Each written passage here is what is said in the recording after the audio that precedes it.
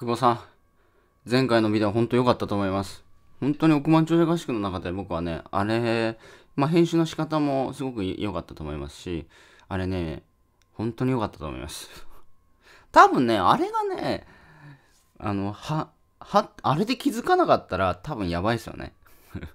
あれね、多分幼稚園でもちょっと気づくレベルに落とし込んだ編集かなっていうのがね、あれやっぱね、久保さんやっぱエンタ、エンタメ力あるなと思いますね。エンタメで気づかせるっていうね。あれはちょっと発想なかったですね。うーん。まああれもね、話す時が来ましたっていうタイトルは僕のパクってると思いますけど。あれよかったな。はい、ということで今回は、えー、っと、まあ、なんだ、えー、ネタがないっていう人がいてると思うんですよね。ネタがないと。ネタがないと。まあ、久保さんがその、なんだ、迷惑フォルダーのやつやればいいじゃんみたいなね。あったんですけど、ネタがないっていう。これネタがないって、あのー、みんな言うんですけど、要はネタはあるけどネタに気づいてないっていうだけなんですよね。単純に。ネタはあるんだけど、目の前にネタはあるんだけど、ただそれに気づいていないという、ただそれだけの現象なんですよ。ネタはあります。歩いてでもネタあるんですよ。例えば今日、僕はあのー、インスタやってるんですけど、空を撮ったんですね。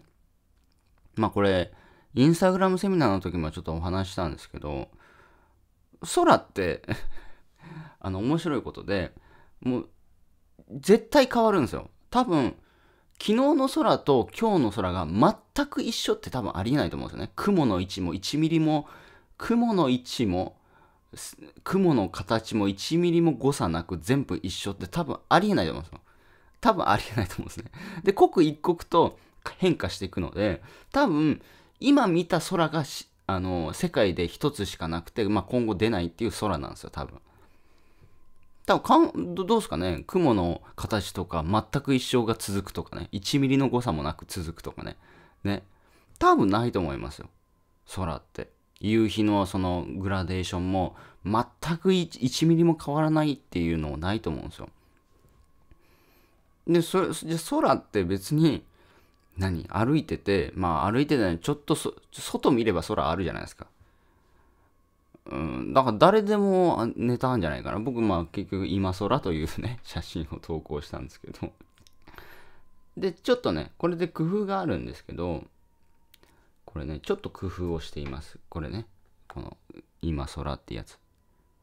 はい、で、どんな工夫をしているかっていうと、ちょっと画像を油絵みたいな感じで、ちょっとあの、編集してます。でもその編集も iPhone のデフォルトに編集っていうのがあるんですよ。iPhone でスマホ、これ iPhone で撮ってるんですけど、iPhone で撮ります。で、その写真の中に編集っていう機能があって、その iPhone のデフォルトにある編集機能をちょっと使ってちょっと編集して、で、インスタグラムにアップして、インスタグラムのフィルタリングもちょっと入れてるかな。だからまあ、ある機能でちょっと編集しただけなんですけど、また全然それで、多分これと僕と同じやつ取れ、あの、なんないんですよ。結構これ綺麗なんですね。綺麗に、綺麗に編集できたなっていう。綺麗にすげえ編集できましたね。青の形が。これだから iPhone のデフォルトの編集すげえ高度なんで、すごいですよ。これで全然変わりますから。あの、色彩が。だから、ネタあるじゃないですか。空。空でもいいわけですよね。だそれに気づいてないし、気づいたとしても、これね、あの昔インスタグラムのセミナーやって、まあ、30人ぐらい来てくれて、沖縄からも来てくれた人もいるわけですよ。多分やってないんですよ。結局、やってないですね。多分。おそらく。や、やってたらすごいなと思うんですけど、多分インスタグラムのセミナーやって3年ぐらい経つんですけど、多分講師の僕しかやってないですよ。多分ずっと。あのセミナーに参加した人30人ぐらいいてましたけど、多分ずっと3年ぐらいややってるの僕しかいないと思います。空撮れ、で、セミナーでも言ったんですよ。空撮れますよね、と。スマホで撮ってますよ、みたいな。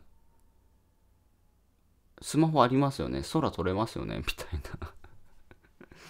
だそれすらできないんですよね。だから、なんかそのネタがないというよりかは、ネタにまず気づいてないと、気づい、気づく、あの、それをネタの、ネタこういうのあるよって教えたとしてもやらない。どどうしたらいいんですかみたいな。ネタが分かりません。ネタこんなのあるよと。空でも行けるよと。あ、空でも行けるんだ。でもやらない。まあだから結局僕は思うんですけど、稼ぎたくないのかなっていうのが僕の、まあ、極論ですね。え、稼ぎたくないんだなっていう。だってその、えー、やり方も教えている、誰でもできる、誰でもできるけどやらない、え、稼ぎたくないってことですよね。これ難しいですか？写真撮るの、空を撮るのって。話して はい。だ結局稼ぎたくないってことなんじゃないですかね。本当に空は撮れると思うんですけどね。これ、久保さん難しいのかな空撮るのって。どう思います？空撮るの難しいかな スマホ持ってるじゃないですか。まあ申し訳ないですけど、スマホで空撮るの難しいんですって言われたら、まあ、まあ、そまあ、しょうがない。まあいいや。まあとりあえず、お金稼ぐ気がないんじゃないかなと思います。いってらっしゃい。